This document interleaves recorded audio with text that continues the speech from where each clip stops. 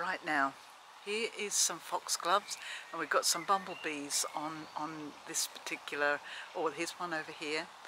He's um, going into each individual, um, see, oh, there, it's great, isn't it?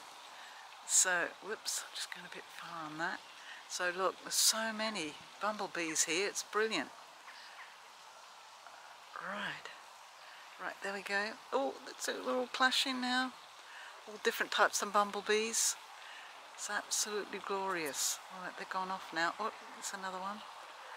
Let's see. They're all on these foxgloves, which is just at their limit at the moment. Uh, they'll be going over because it's very hot. So let's have a see. There and that. Going up there. Alright, foxglove and some roses, yellow ones. And here, and look at these roses here. Aren't they fabulous as well? And at the back there on the wall, just fabulous, isn't it? Wonderful roses. That's standard roses. Right.